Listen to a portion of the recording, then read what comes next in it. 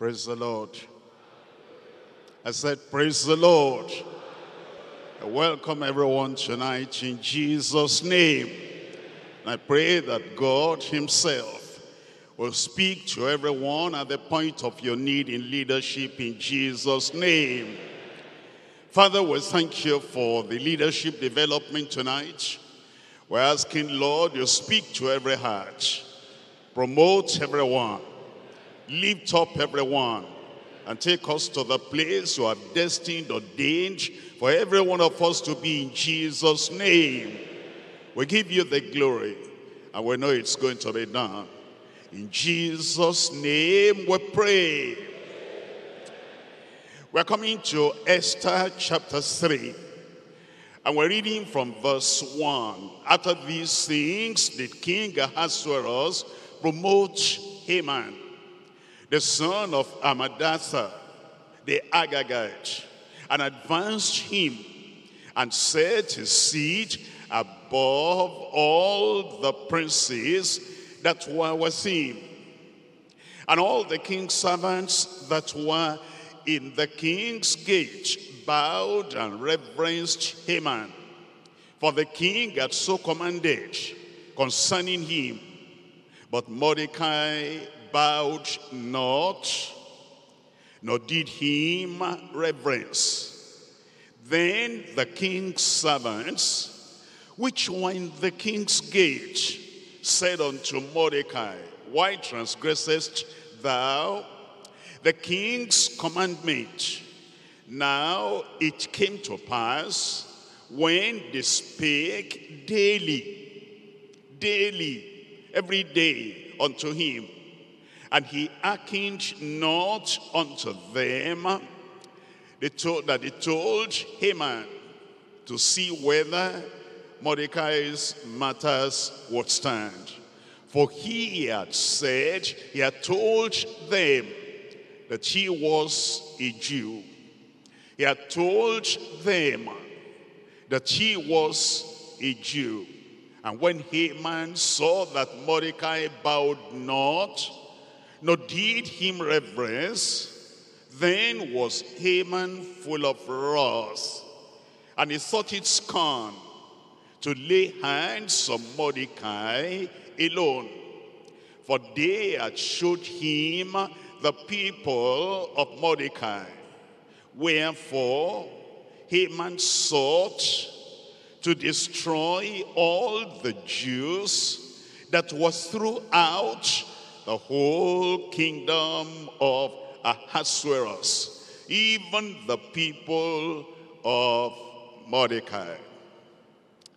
As we read the story in the whole book of Esther, and we see the beginning, we couldn't have imagined what the end will be. Mordecai himself did not know what the end will be. Esther did not know what the end will be.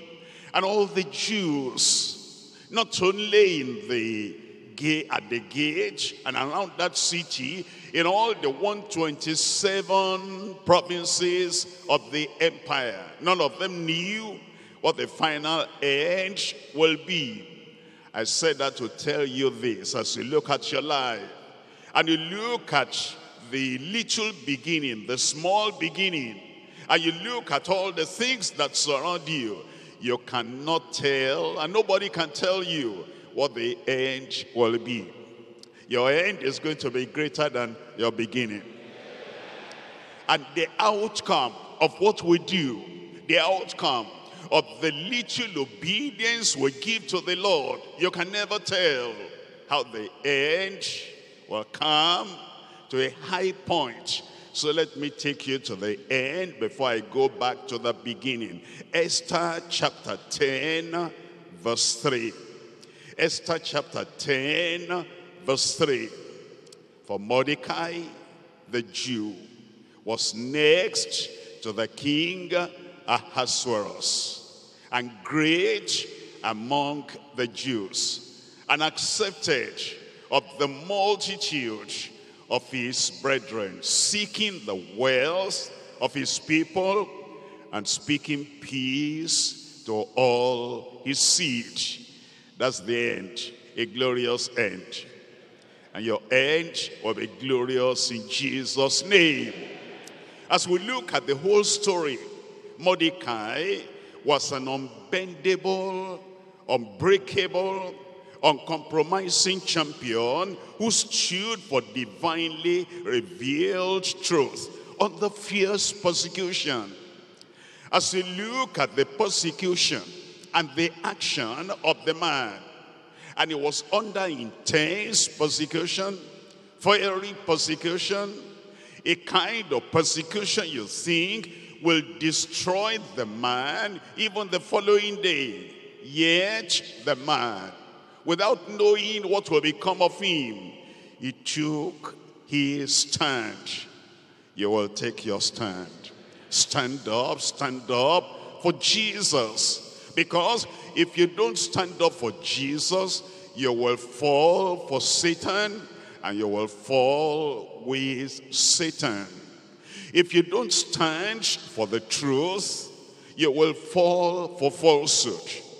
If you don't stand in righteousness, you will fall into unrighteousness. If you compromise before Haman, you will be condemned with Haman.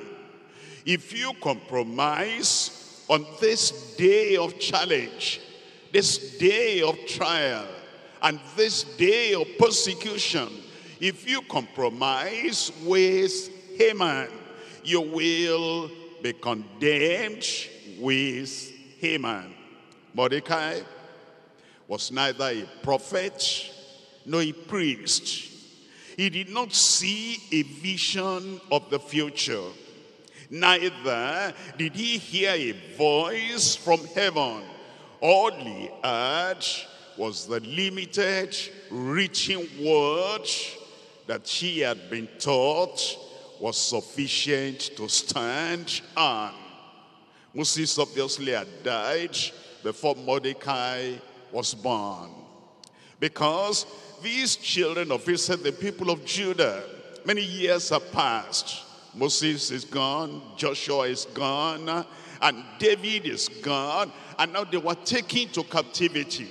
And it was in that captivity that all these things began to happen. And even though he had nothing except the reaching word, he stood on that reaching word, and God honored him and as you stand on the written word, the Bible, the Holy Bible, the Lord will honor you. You stand with the Lord, the Lord will stand by you.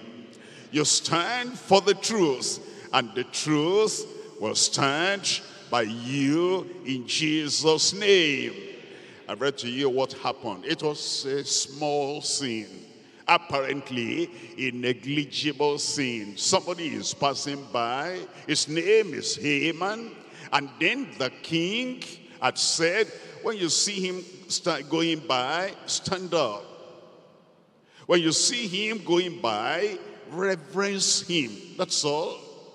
But Haman was looking for everybody to obey that little small command. And for him, a little man is satisfied with a little thing. That just standing up and bowing down and making reverence, that made his day. And you can tell when somebody is small, you can tell when somebody is little. Even though he has a high position, the little thing you meet to do creates a great problem for such a man, on the other hand, we have Mordecai. He had looked at the commandments of God. He had looked at conviction coming from the word of God. And he said, if the whole body of a man is very important, and the little nail in the finger, one finger, is very important. And you will not think of removing that little nail. It says, as I look at all the commandments of God, here is a little nail. Here is a little commandment. Just stand up and bend before the man. But God forbids me to do that. Negligible, very small, but I'm not going to do that. I'm going to obey God rather than man. I'm talking to you tonight on unwaveringly standing up for God's revealed truth. Standing up for God's revealed truth. Uncompromisingly, unwaveringly. Whatever the skies may fall, whatever the sea may roar, whatever Satan may threaten, but a child of God, looking at the word of God and unwaveringly, uncompromisingly, fearlessly standing on God's revealed truth. As I look at the chapters we're looking at today, there are three things. Number one, the conviction and courage of a single-minded, non-conformist. Non-conformist. Who is a non-conformist? He sees other people bending. He sees other people bowing. He sees other people falling on their faces before the man. And he alone will not conform. A non-conformist. The conviction of such a man, the courage of such a man, of a single-minded non-conformist. Point number two, the cooperation and cross-bearing of a supportive congregation. Now understand, the Jews were scattered throughout 127 provinces. And as a result of the stand, as a result of the commitment, as a result of the congregation of this single man, Mordecai, all the lives of all the people, the Jews, the lives were threatened. And the whole of them, congregation here, congregation here, congregation here, in 127 what we call regions. In 127 provinces, the stand of Mordecai threatened their lives. And none of them sent message to Mordecai saying, slow it down. Our lives are in danger.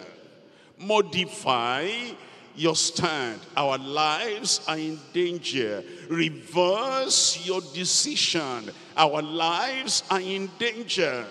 What's the matter, Mordecai? We're going, we're sending a committee to you. When this committee comes to you, please, because of all the Jews in all the 127 provinces, listen.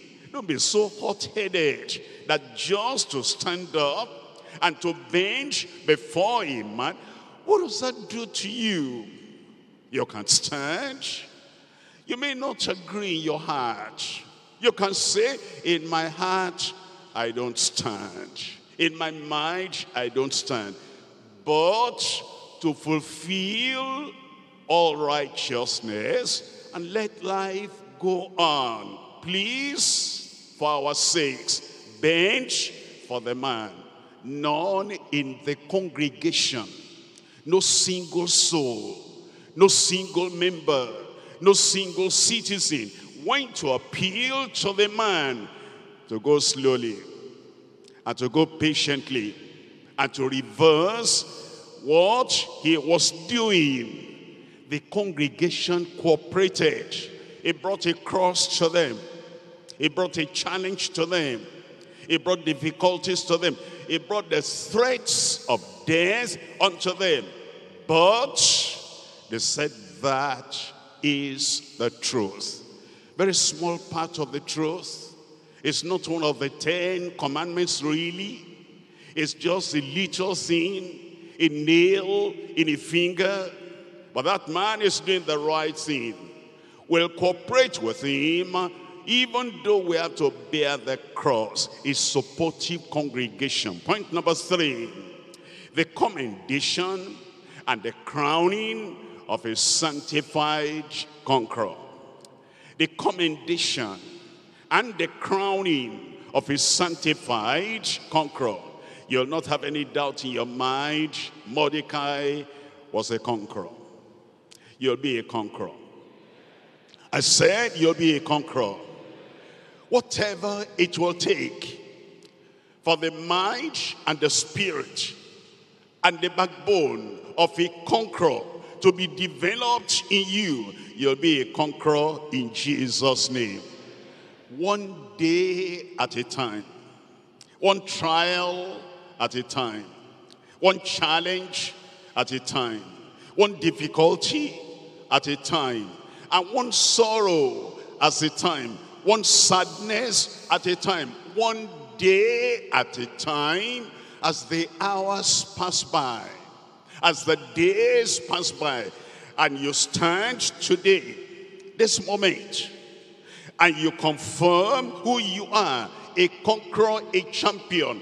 This moment, the moments will go to days, the days will go to weeks, the weeks will go to months, the months will go to years, as we come to the end of time. You are being uh, a sanctified, selfless, unbendable conqueror and champion, and so you, will you be. I said, so will you be. The commendation and the crowning of a sanctified conqueror. Point number one, the conviction and courage of a single-minded conformist. Come back to chapter 3. In chapter 3, I'm reading from verse 2. And all the king's servants that were in the king's gate bowed and reverenced Haman. All of them without exception.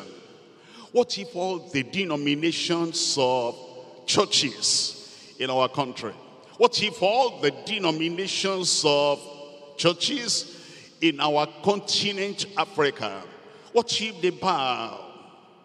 What if they, re they reject the word of God and say, that's a small thing, that's a small area. It will make us unpopular if we take a stand on this little thing it will make us unacceptable if we take a stand on this small sin and everybody in all the churches of all the denominations, they bend and they bow. Because after all, it's a little sin. And all the king's servants that were in the king's gate bowed and reverenced Haman. For the king had so commanded concerning him. The king had so commanded concerning him. But Mordecai bowed not and did not did him reverence. One man out of the whole pack. One man out of all the officers one man out of all the people at the gate. And the audacity and the courage and the conviction and the backbone saying everybody may bow or bend I will not. Verse 4 now it came to pass when they spake daily unto him. They spoke daily unto him. He hearkened not unto them. And he told Haman to see whether Mordecai's matters would stand. For he had said, he had told them, what did he tell them? Tell us now. That he was a Jew. They put pressure on him. He said, I am a Jew. I'm not like you. That's why you bow. I am different. I'm distinct. I am a Jew. What makes a person different? What makes him act different? What makes him stand on something that all the other people are falling? What makes him uncompromising? What makes him unbendable? I am a Jew. I am a Christian. We are Christians too, not like that. I am a Christian. I am a disciple. We are disciples too. We're following Jesus, not like that. I am a disciple. What makes a person different? I am a convert, a true convert, a genuine convert, a biblical convert. What makes a person stand alone even when many people are against him and they're proving to him that he's wrong and they say he's eccentric. They say he's gone berserk. They say he's not of the race of the rest of the people. It is the statement, I am a Bible believer. And I believe every judge, and I believe every tittle, and I believe every part, and I believe the smallest part, and I will not take away a tittle or a judge from the word. I am a Bible believer. That's what makes the man different. That was makes a woman different. I am a Jew. Look at Romans chapter 3. Romans chapter 3. I'm reading from verse 1. Romans chapter 3. We're looking at verse 1. What advantage then has the Jew? Or what profit is there of circumcision? Much in every way, chiefly because that unto them were committed the oracles of God.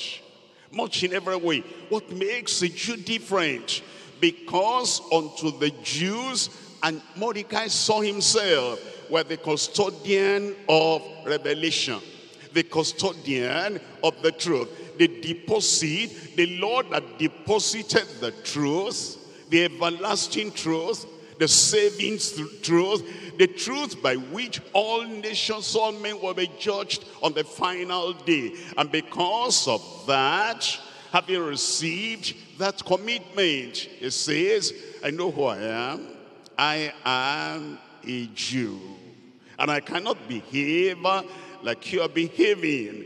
Look at chapter 9 of Romans. Romans chapter 9, I'm reading from verse 4. Romans chapter 9, verse 4. Who are Israelites? To whom pertaineth the adoption and the glory and the covenants and the giving of the law and the service of God and the promises. I am a Jew. The promises have been given to us. The precepts have been given to us. The commandments have been given to us. The life-saving truth revelation has been given to us. I am a Jew. And because of that, I cannot bow, I cannot bend, like all the people do. Romans chapter 2, verse 29. Romans chapter 2, verse 29.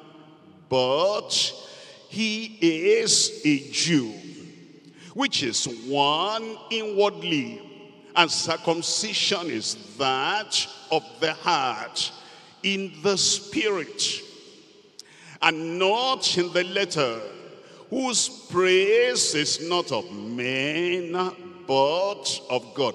I am a Jew. I'm not looking for praise from any man on earth. I'm not looking for recommendation from any man on earth. Internally, I am a Jew. In my thoughts, I am a Jew. In my way of life, I am a Jew. I have the word. I have the revelation. I have the truth. And because I am a Jew, circumcised in the heart, inwardly, and I see myself very different from everybody else, because of that, I cannot do what the others are doing. What gave him that concept? What gave him that condition of heart? What gave him that commitment in his soul? Look at Deuteronomy chapter 4. I will read from verse 7. Deuteronomy chapter 4, verse 7. I am a Jew. I am different. I am distinct. I am of a peculiar species. I am of a different conviction. Deuteronomy chapter 4, verse 7. For what nation is there so great? Was God so nice unto them? As the Lord our God is in all things that we call upon him for. And what nation is there so great that has the statutes and judgments so righteous as all this law which I set before you this day. You see that? Moses told them, go through all the nations of the world, up, down, north, south, east, west, all over the world you will not find another nation so privileged, so upright, so favored, so committed, and so graciously chosen by the Lord to give us all this law, to give us all this word. That's why Mordecai said, I am a Jew.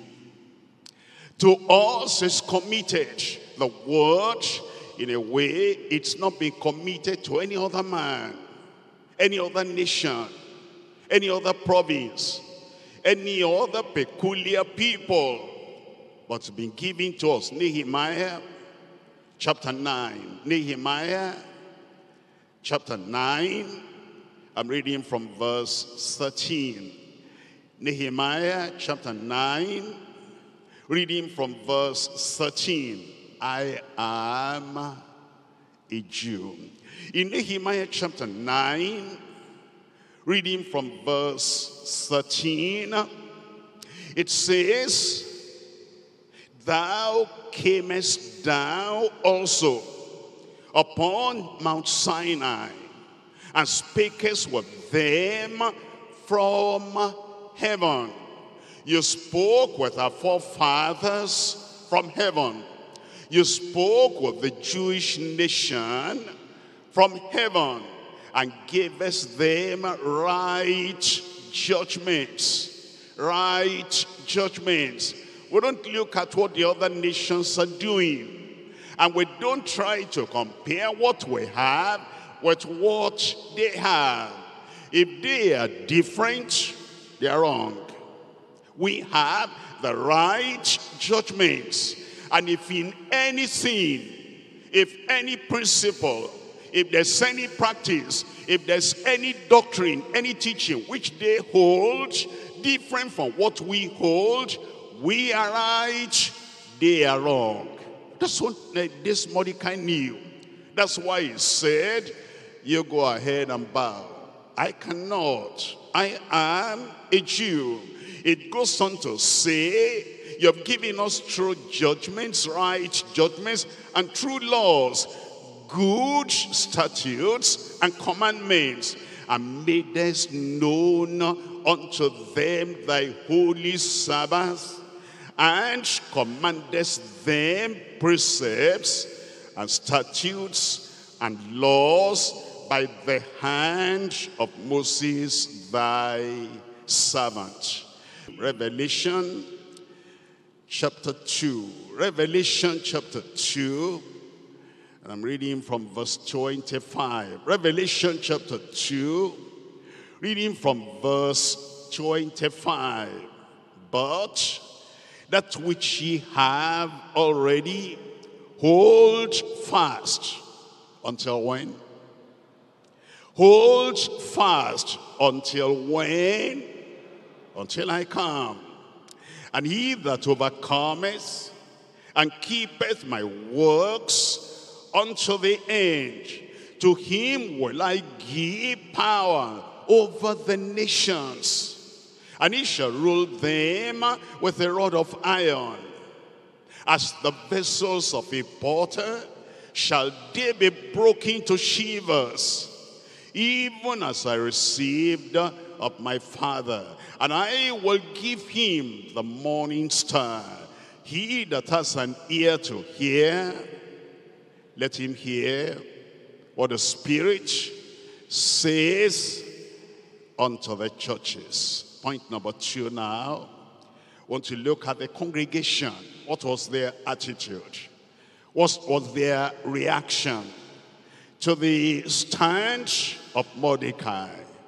And this stand of Mordecai was not only affecting him, Mordecai, affecting all the congregations in the 127 provinces in the empire. Point number two, the cooperation and cross-bearing of a supportive congregation. Come to chapter 4. I'm reading from verse 1. Chapter 4 verse 1. When Mordecai perceived all that was done, Mordecai rent his clothes and put on sackcloth with ashes and went out into the midst of the city and cried with a loud and a bitter cry and came even before the king's gate for none might enter into the king's gate closed with sackcloth and in every province, 127 of them, in every province, whithersoever the king's commandment and his decree came, there was great mourning among the Jews and fasting and weeping and wailing and many lay his sackcloth and ashes. I want you to think through on those words we read just now. The stench of Mordecai brought persecution to all the congregations in all the 127 provinces in the whole empire. Yet, they all agreed with him. It's one thing to be sorrowful and then change. One thing to be sad and then turn around. One thing to cry and then compromise. One thing to weep and then fall. One thing to be so sad that to change your conviction. But you know these people, yes, they cried. They had to cry because the edict had gone out that all of them on a particular day will be totally eradicated, annihilated, destroyed, not one of them remaining. Because of that, they cried. They cried and wept, but they would not compromise. Don't let your tears turn to the tears of compromise. They were sad and sorrowful, but they will not compromise. The pressure was high on them. They felt the pressure and they felt the end had come. And no prophet rose up to say, no, it will not happen. They were so sorrowful, they mourned and they fasted, but, but, But they would not compromise. No one advised Mordecai to reconsider his stand. No, they would not compromise. They seemed hopeless in a helpless situation, but they would not compromise. No group said, it's a small matter. Let's choose a committee of wise men. This man is not wise. He needs some wisdom. And if he doesn't have any wisdom of his own, let's lend him some wisdom. Nobody said that. No group said that. No pressure group came to Mordecai in their sorrow, in their sadness, in their tears, in their problem, in their persecution, in the threats. They took their stand. You'll take your stand. You see, some things may happen that can cause sorrow, sadness, grief, challenge, pressure. That's not the point. And we're not looking at today. We're looking at the future. Somebody there, we're looking at the future. I said you are looking at the future. And it was that future that made them that in spite of their sorrow, in spite of their sadness, in spite of the persecution, they will not change. I will not change. Say it, I will not change. I will earnestly contend for the faith was delivered unto the saints. Let heaven hear you. I will honestly contend for the faith once delivered unto the saints. Mordecai and all the members of all the congregations in all the provinces were united. They were one. They were indivisible indivisible. Why? Exodus chapter 24. I'm reading from verse 3. Exodus chapter 24, reading from verse 3. And Moses came and told the people all the words of the Lord. All the words of the Lord. Some of those words appeared small, little, somewhat big, of great consequence. And Moses told them all the words of the Lord and all the judgments. And all the people answered with one voice and said, all the words which the Lord has said will we do. And Mordecai and all the congregations of those 127 provinces were of that same mind. All the words which the Lord had said were with you. Come to verse 7.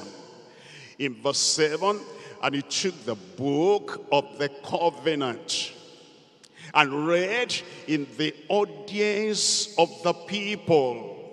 And they said, all that the Lord has said will we do and be obedient. They said we don't have any opinion of our own. We don't have any commandment of our own. We don't have any idea of our own. Whatever the Lord has said, small or great, affecting big areas of our lives or affecting just a small, minute area of our lives. All that the Lord has said, we will do. You'll be of the same conviction in Jesus' name. And when a Mordecai rises up and he obeys the word of God, and that causes you some persecution in your little family, and causes you some persecution in your place of work, and causes some pressure group coming to you and putting pressure on you, you will not forget your consecration. You will not forget your vow. All that the Lord had said, we will do. Nehemiah chapter 9. And I'm reading here from verse 25.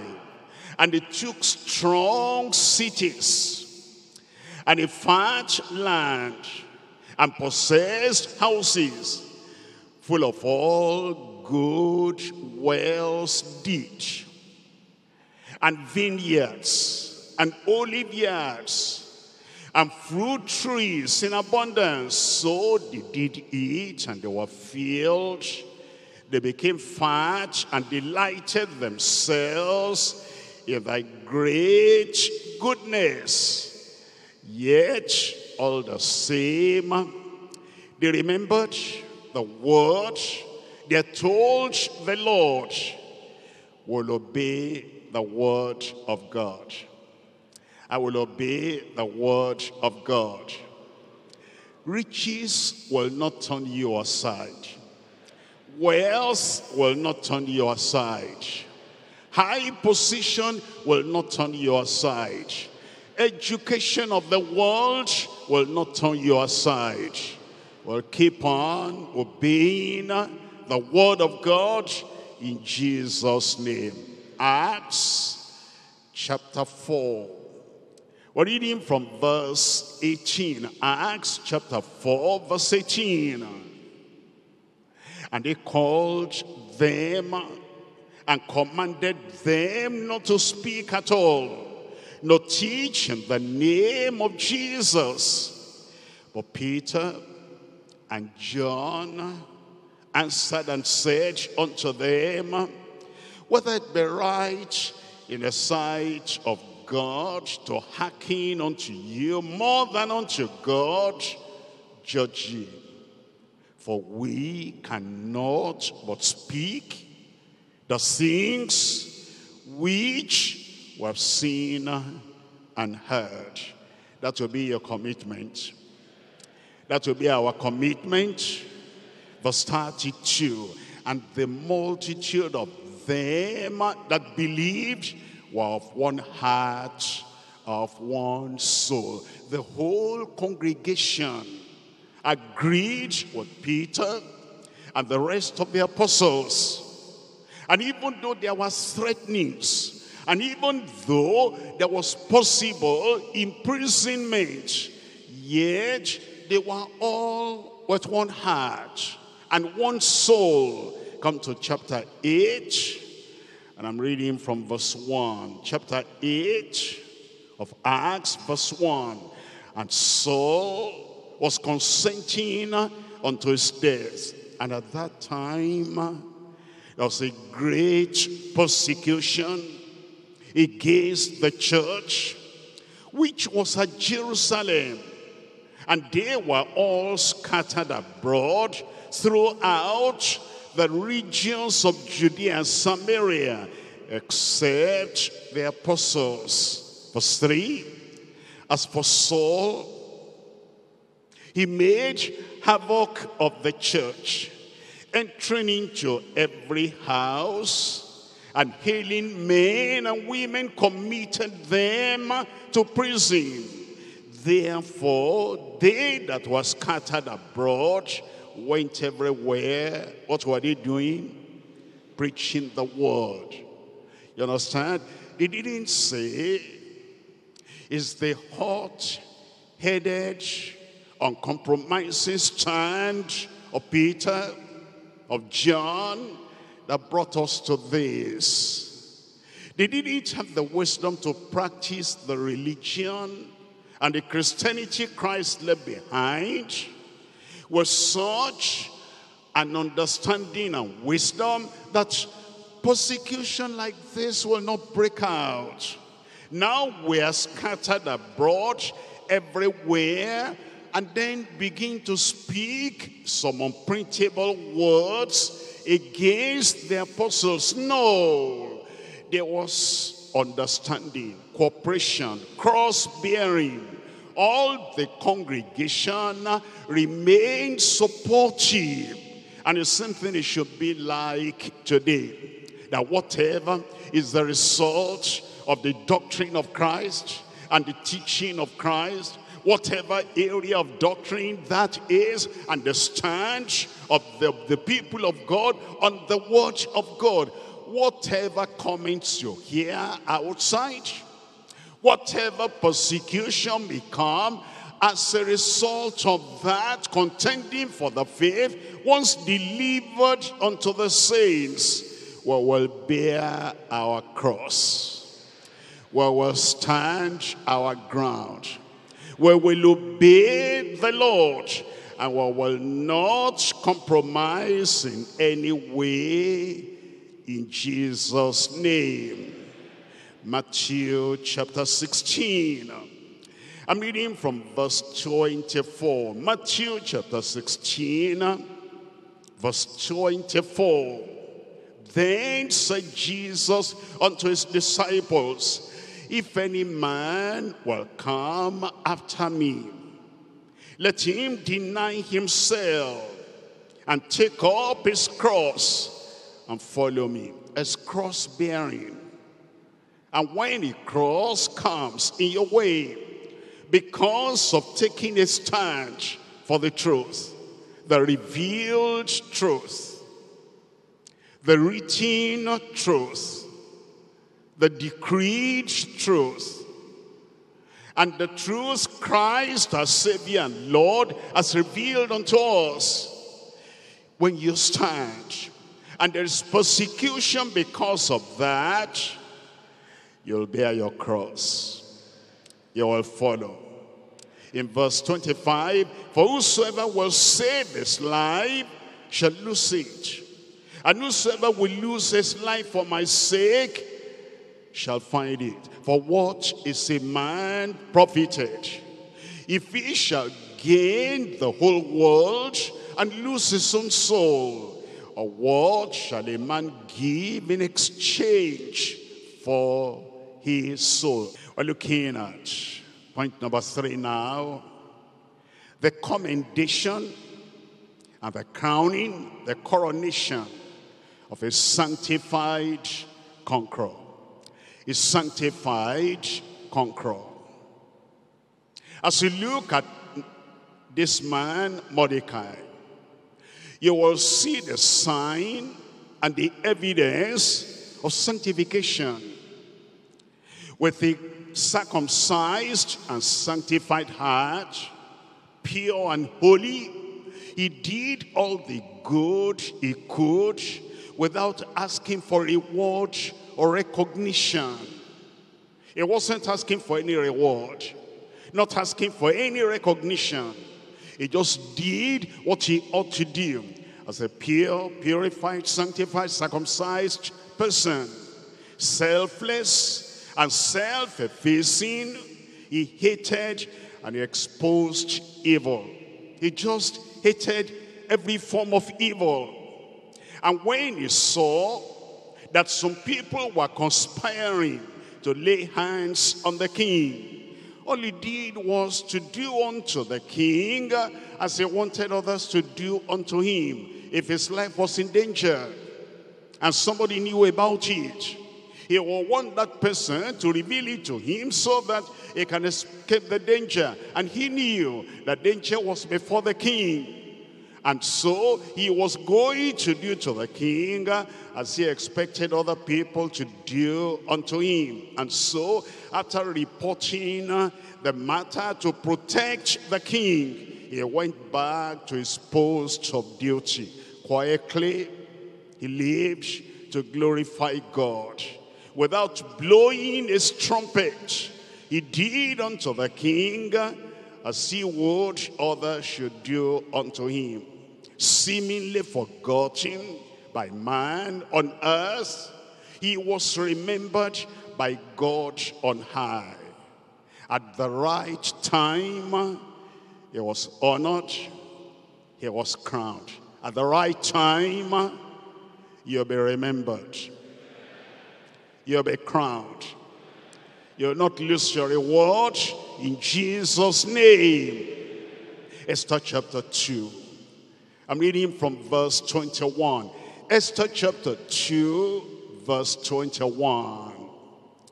In those days, while Mordecai sat in the king's gate, two of the king's chamberlains, Bigthan and Teresh, of those which kept the door, were wroth, they were angry, and sought to lay hand on the king Ahasuerus. And the sin was known to Mordecai, who told it unto Esther the queen. And Esther certified the king thereof in Mordecai's name. Esther did not take the credit that should go to Mordecai. He she informed the king in Mordecai's name. And when inquisition was made of the matter, it was found out.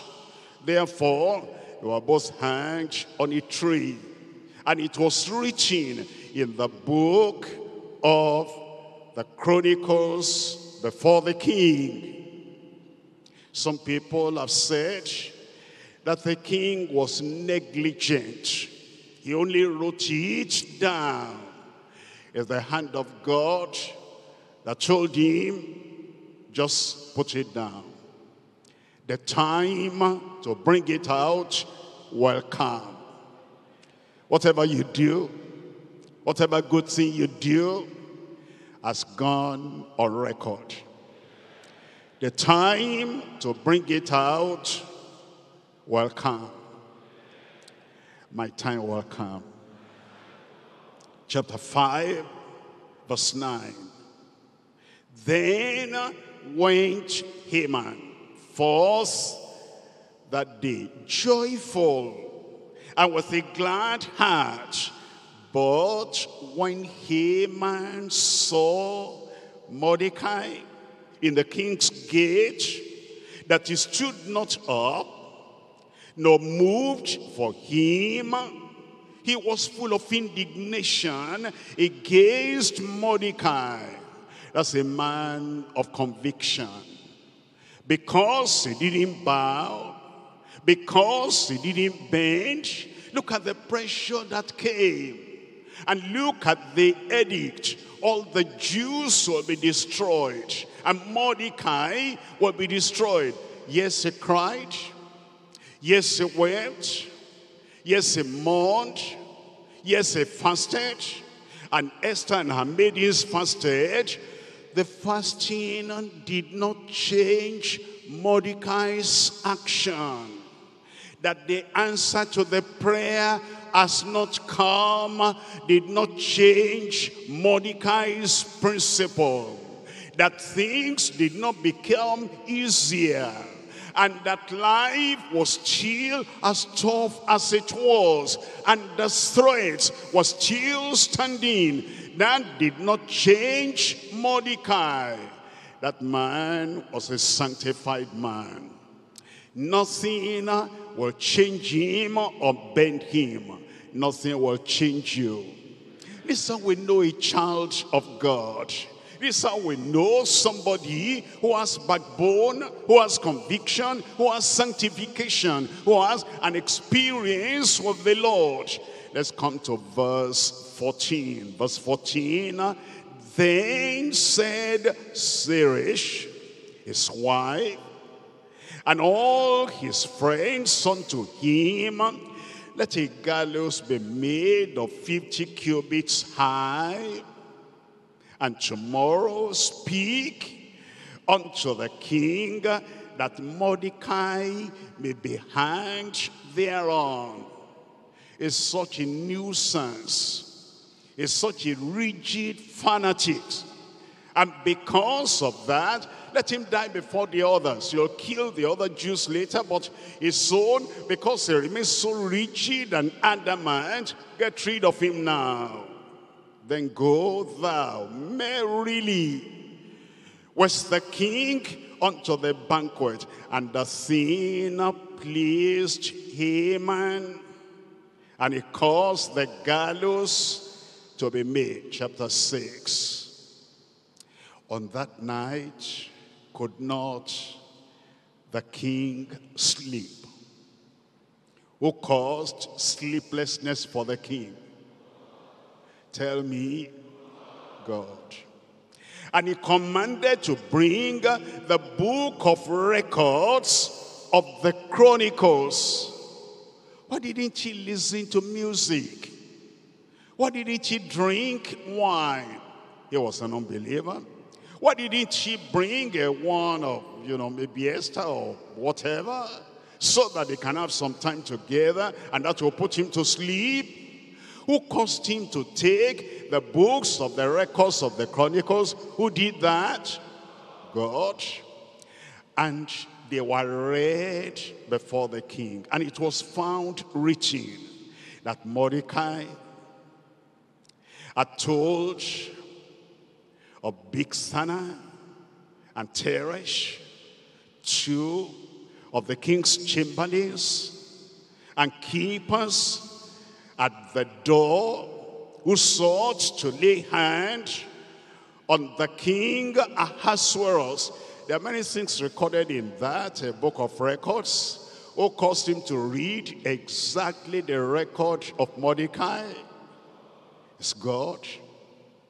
And the king said, what honor and dignity has been done to Mordecai for this. Then said the king's servants that ministered unto him.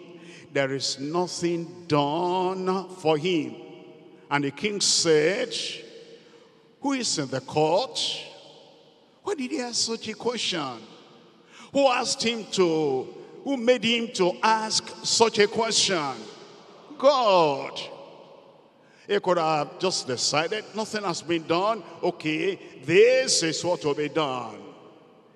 But they said, now Haman was come into the outward court of the king's house to speak unto the king to hang Mordecai on the gallows that he had prepared for him.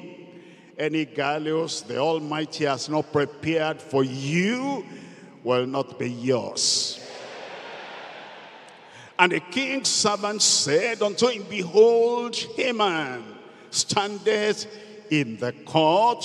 And the king said, Let him come in.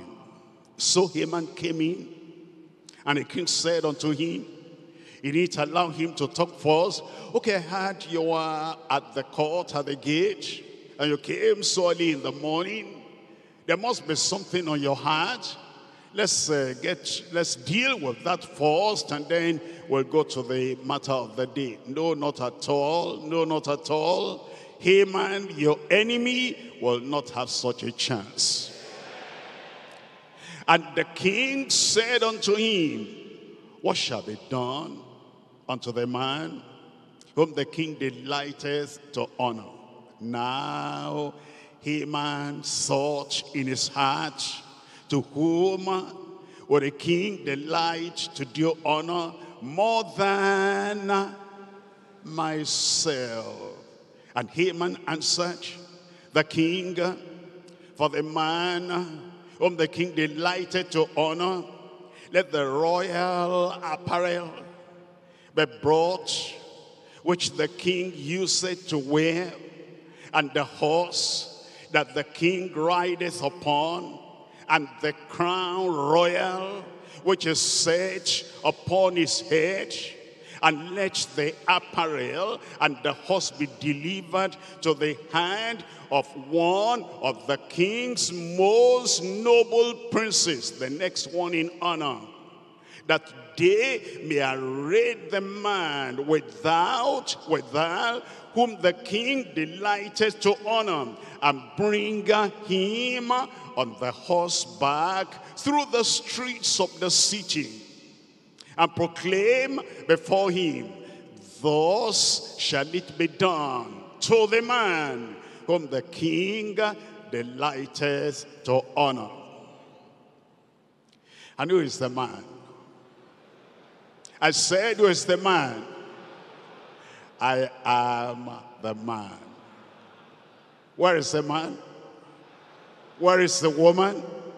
Look at verse 10. Then the king said unto Haman, Make haste, hurry up, and take the apparel and the horse, as thou hast said, and do even so to Mordecai. Tell me what follows. The Jew. I am a Jew. The Jew. I am a Jew.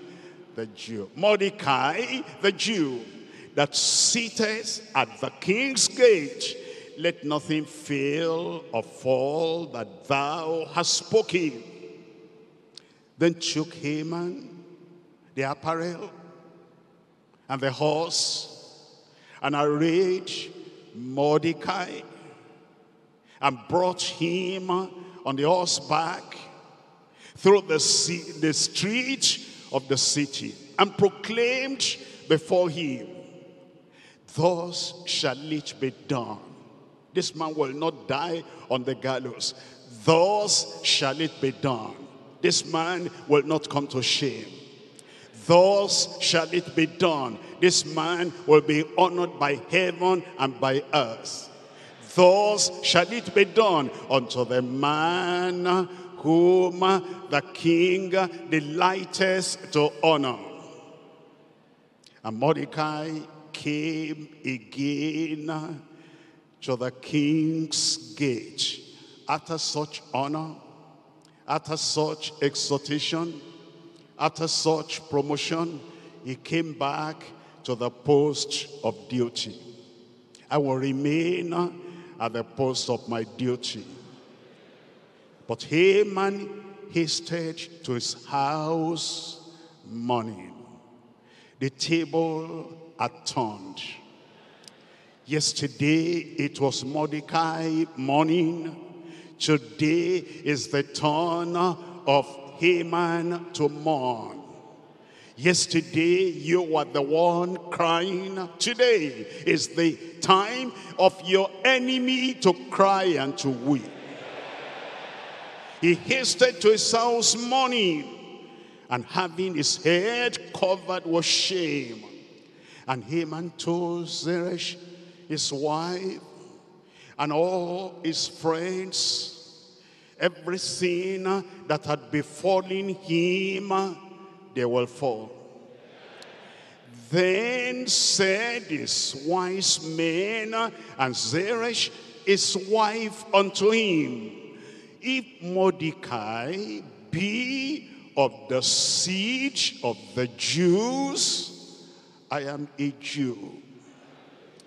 I am a Jew. You see, it's the Jewish heritage that followed him all through. And then they said, if he be of the seed of the Jews, before whom thou hast begun to fall, thou shalt not prevail against him, but shalt surely fall before him surely fall before him. Chapter 7, verse 9. And Harbona, one of the chamberlains, said before the king, Behold also the gallows 50 cubits high, that which Haman had made for Mordecai, who had spoken good, look at that, who had spoken good your good works will come out. Who has spoken good for the king standeth in, his, in the house of Haman. And the king said, and the king said, and the king said, all those who stand against your progress, they are gone. Hang him thereon. So they hanged Haman, not ready to die yet. He has not repented. He's still full of wrath. He's still full of anger. He's still full of hatred, He's still full of bitterness. A man like this was not ready to go to eternity, but he left without salvation. So they hanged Haman on the gallows that he had prepared for Mordecai. Then was the king's wrath pacified.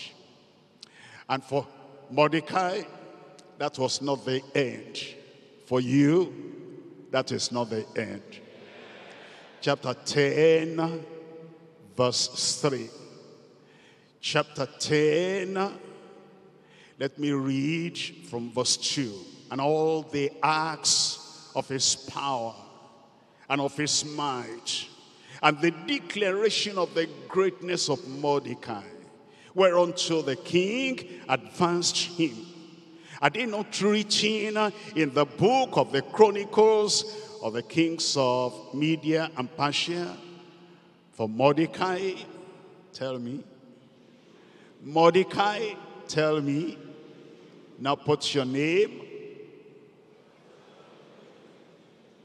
You, you're forgetting your name? And Mordecai the Jew was next to the king Ahasuerus and was great among the Jews and accepted of the multitudes of his brethren, seeking the wealth of his people and speaking peace to all his seed. Promotion, honor, crowning, joy, happiness. You've got it. It's going to be yours. At the right time, the remembrance of every good thing you have done will come. You will not be forgotten. Rise up and praise the Lord. You will not be forgotten. Stand, stand, up, stand up and tell the Lord, I will not compromise. I will not compromise. I will take my stand on a little thing, on a big thing, on a major thing, on a minor sin, I will take my stand. And then your time of promotion will come. Open your mouth and consecrate yourself to the Lord. You'll be unwavering. You will be uncompromising unbendable, unbreakable. You will be a champion, single-minded champion. You will stand for the truth. Open your mouth and talk to the Lord in prayer. Him. Everything we've heard, him. Everything we've learned, him. And say, Lord, Mordecai is gone. I am here today. I will stand for God's revealed truth. God's reaching truth. God's decreed truth. I will stand. In my office, I will stand. In my family, I will stand earnestly contending for the faith once delivered unto the saints, I will stand. Let the seas roar, I will stand. Let thousands of Hamans arise, I will stand. Let opposition come, I will stand. Let the persecutors threaten. I will stand. Unwaveringly standing. Uncompromisingly standing. For the truth of God's word. For the doctrine of God's word. For the revelation of Christ's doctrine, I will stand. You'll be single-minded, knowing I am a Jew. I am a Christian. I am a believer, a Bible believer. And I believe the Bible from the beginning to the end. Every jot, every tittle. And when other denominations bend and bow, and you say, that's a small sin, that's a little sin. For me, there'll be nothing small, there'll be nothing minute in the word of God. I will stand for the truth. No compromise. No changing any part of the word of God. I will leave it out. Not only teach it, not only preach it. Haman will not have an inroad into my conviction. Conspirators will not have an inroad to my conviction. Everything I learn, everything I hear, I will obey. No punishment or persecution. No insult or assault. No ridicule or difficulty will change my mind. I will stand.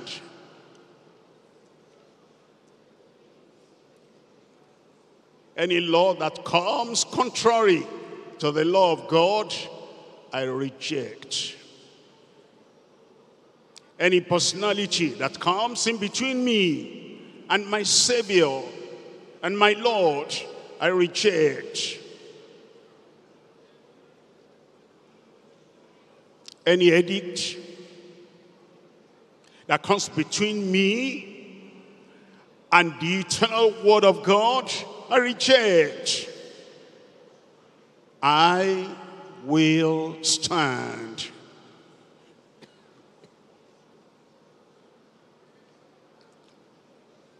And let the whole congregation stand. Let the whole congregation cooperate. Let every member in all the congregations, in all the regions, in all the states, in all the nations, anyone that names the name of the Lord in the church God has raised up as Deeper Life Bible Church, let everyone take the same stand. And whatever cross comes, bear the cross. Whatever challenge comes, as a result of standing, bear the challenge. Whatever name calling, not whatever abusive language, whatever ridicule, whatever jest, the make of your name, of the name of the church, make up your mind that you'll have the grace to stand. Stand. Stand courageously. Stand uncompromisingly. Stand in obedience to the truth, the word that cannot change. Stand.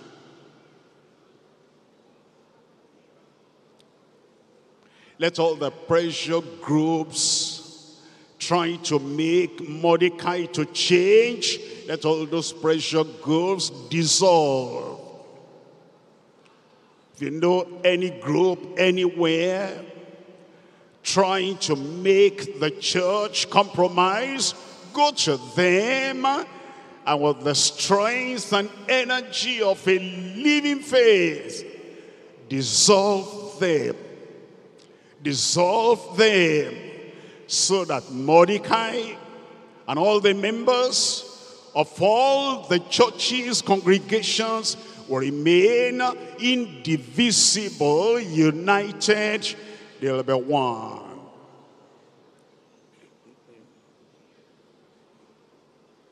Don't fall, stand. Don't cringe, stand.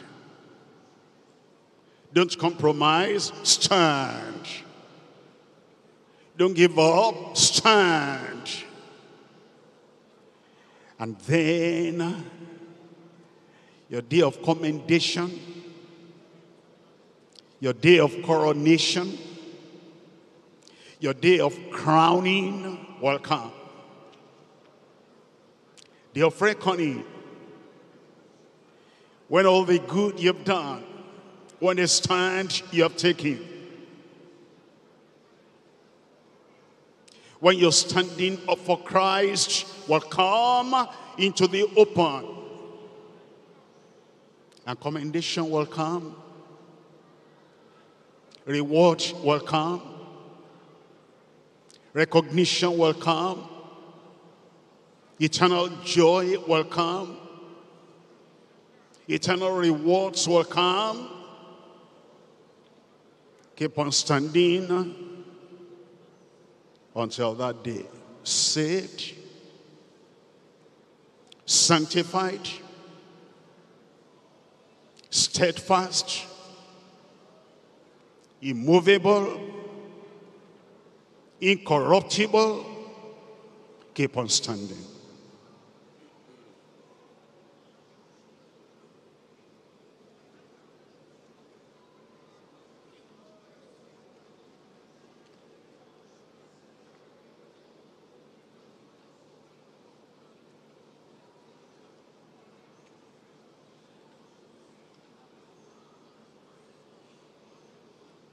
In Jesus' name we pray.